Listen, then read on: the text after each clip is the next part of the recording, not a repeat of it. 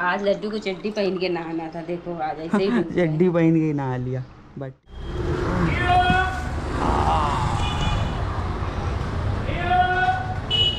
ये है life hey guys good morning welcome to our new vlog so कल रात को काफ़ी ज़्यादा थक चुके थे। थकने के बाद आए थे यहाँ पे, तुरंत सो गए थे। कल जो ब्लॉग अपलोड नहीं हुआ डिले हो गया था। व्लॉग फ़िलहाल अपलोड किया था मैंने। शाम को अपलोड किया था, जैसा कि आप लोग ने अभी देख ही लिया हुआ था। क्योंकि एडिट भी नहीं कर पाए थे, रात को दो बजे आए थे, फिर उसके बाद एडिट भी नहीं कर पाए थे ब्लॉग को। सारा सामान भी आ चुका है वहाँ से, फल वगैरह, और जिस जिसको प्रसाद देना है, उनको भी प्रसाद दे देंगे। मम्मी इसी वजह से लाई हैं। और अभी हम और मामा जा रहे हैं पान लेने के लिए। अभी हम नहाए नहीं हैं, वहाँ से आने के बाद नहाएँगे। वैसे तो पान लेने हम लोग शाम को जाते हैं लेकिन शाम को इतना जाम हो जाता है इतना ट्रैफ़िक हो जाता है तो जिस वजह से ला नहीं पाते हैं। आप लोग ने देखा होगा हमारा स्ट्रगल वाला ब्लॉग तो देख लीजिएगा अगर नहीं देखा तो यहाँ पे नोटिफिकेशन आ रहा है तो देख लीजिएगा। तो अभी चलते हैं हम और मामा ये हमारे मामा आ चुके हैं। हेलो फ्रेंड्स हेलमेट लगा के बढ़िया मुँह बाँध के। हाँ यार खोलें फिर उतारें कोई फ़ायदा नहीं है। ऑडियंस पहचान जाएगी। तो पैरों में इतना दर्द है बिल्कुल ये वाला मेरे पैर तो कहाँ पर आए सुबह उठे एकदम कहाँ पर आए सर यानी सब ये दर्द हो रहा है झुके जा रहे हैं। बट ठीक है अच्छा सब अच्छे से हो गया। झुके रहे सीधे और सभी को अच्छा लगा। हाँ यार लेकिन सवेरे उठे तो एक अजीब सी शांति थी। हाँ यार। भगवान ऐसा अगर सब कर दे और ये हमारी मम्मी लड्डू गोपाल जी को भी फ़िलहाल नहरा रही हैं। आज लड्डू को चड्डी पहन के नहाना था देखो आज ऐसे ही चड्डी पहन के नहा लिया बट ठीक है। चड्डी पहन के फूल खिला है। क्योंकि आँखों में काफ़ी ज़्यादा धूल जाती है एयर की वजह से तो दैट दिस रीज़न तो फ्रेंड इस चश्मे को पहनने के बाद दुनिया पूरी पीली लग रही है।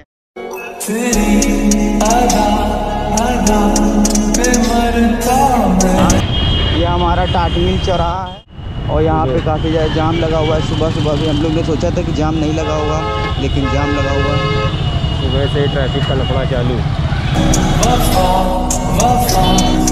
करता क्यों हदों से हूँ गुजरता मैं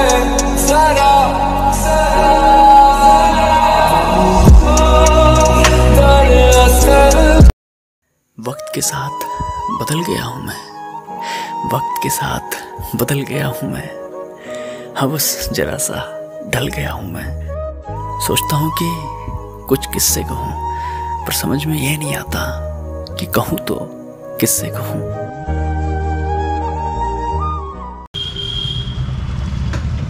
तो वी गो ये है भाई, घर। घर है ये घर। और यहाँ पे कॉल किया जाएगा, बुलाया जाएगा, बट नहीं बुलाया गया ऐसे खोल लिया गया। ओ भाई, इतना बड़ा झावा।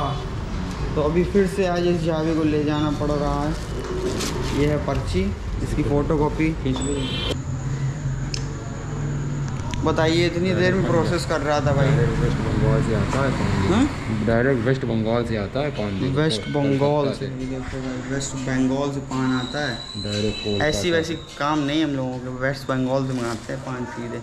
कानपुर से लेते ही नहीं है फ़िलहाल पान। और ये वैसे पान लिया था क्योंकि रास्ते में धूल बहुत उड़ रही थी भाई। आँखों को बचाना बहुत इंपॉर्टेंट है। वो तो घुमा लें गाड़ी। तो मामा गए गाड़ी घुमाने के लिए बट हम अभी भी ये सोच रहे हैं कि ये झाबा जाएगा कैसे? भाई कैसे जाएगा ये झाबा? बट हम लोग का काम है ले जाना और हम लोग का काम है स्ट्रगल को फेस करना। ले जाएँगे। और पैरों में दर्द इस वजह से क्योंकि भाई आप लोग ने देखा ही होगा भंडारे में और सुंदरकांड में पार काफ़ी ज़्यादा काम था तो काम कराना भी बहुत ज़रूरी था। एक एक चीज़ मैनेज करना एक एक चीज़ को देखना तो ये बहुत इंपॉर्टेंट है सुंदरकांड में। तो बहुत अच्छे सुंदरकांड हो गया, अच्छे सब कुछ हो गया बट एक दिन बाद पता चलता है थकावट तो वही अभी पता चल रही है। पैरों में बहुत दर्द है।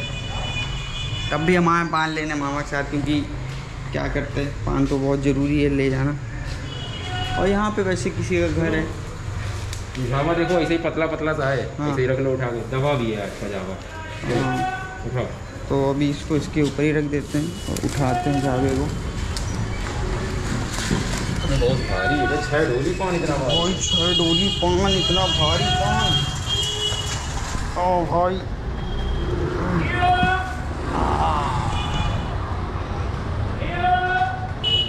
ये है लाइफ किसी का घर खोला था मामा ने। मामा बंद कर रहे हैं। रिस्पेक्ट एवरी हाउस हाँ? चलो भाई। भाई एक हाथ से। ये है भाई जवानी का एक हाथ से। चलो तुम्हारे पास जगह बैठने के लिए पर्याप्त है। आप कैसे बैठोगे? बैठ जाओ। तुम एक ये पकड़ो ऑटो छोड़ो।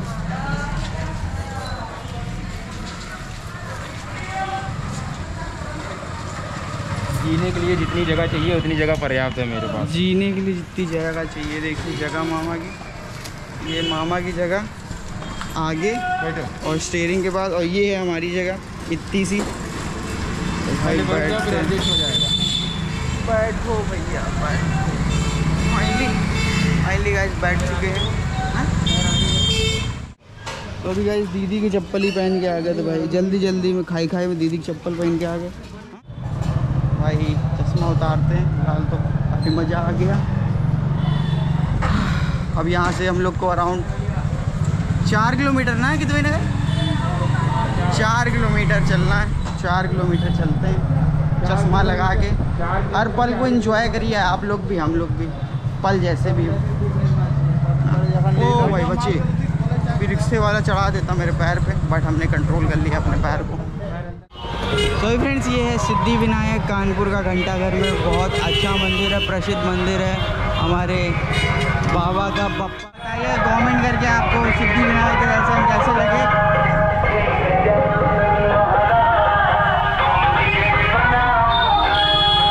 यहाँ ट्रैफ़िक की वजह से काफ़ी ज़्यादा मंदिर में प्रॉब्लम होती बट ठीक है। ट्रैफ़िक बहुत है, क्योंकि चौराहा है, घंटाघर मेन चौराहा है, और बस जस्ट ही लगा हुआ है यहाँ पे।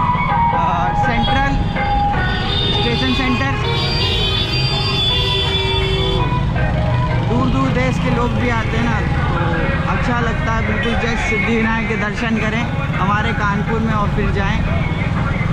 गॉगल्स इस वजह से पहन रहा हूँ क्योंकि बहुत ज़्यादा डस्ट है कानपुर में। कानपुर बहुत गंदा शहर है।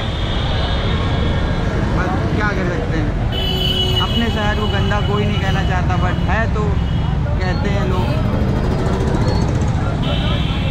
और ट्रैफ़िक अननेसेसरी यहाँ लगता है। क्योंकि यहाँ की जनता को कोई भी फ़िक्र ही नहीं है। सबको पहले जाना है, सबको जल्दी जाना है। I am first I am first वाला रूल है। यहाँ पे हर चीज़ चल रही है इलेक्ट्रिक बस भी चल रही है। ये देखिए हमारी सौ नंबर गाड़ी जा रही है बगल से। ये ऐसा टावर है जिसमें कि पेड़ है कि क्या है? आप लोग बताइएगा ये पेड़ है कि क्या है? ही बारात पिए आए नाचे गाए देखो राग है मल्हार। ओ नित नित लाके रंग सवारी जहाँ या ना। अरे बोलो ना सूरज की किरण आने दे आने दे मेरे। तो फ्रेंड्स फाइनली जंगली देवी मंदिर आ चुके हैं। बस आने वाला हमारा घर नानी का जहाँ पे रख देंगे और फिर चलेंगे अपने घर। तो ये है तो फ्रेंड्स घर आ चुके हैं और काफ़ी ज़्यादा धूप थी तो धूप से आने के बाद तुरंत नहाएँगे नहीं तो थोड़ी देर बैठेंगे और फिर नहाएँगे। तो आप लोग से मिलते हैं नहाने के बाद। तो फ्रेंड्स नहाने जैसे ही जा रहे थे, घर के सामने गणेश जी आए हुए हैं। गणेश जी, आप लोग देख सकते हैं, घर के जैसे सामने ही आए हुए हैं। और काफ़ी गाड़ियाँ खड़ी हुई हैं। नहाने जा रहे थे, लेकिन नहाने का मूड मेरा ख़त्म हो चुका है।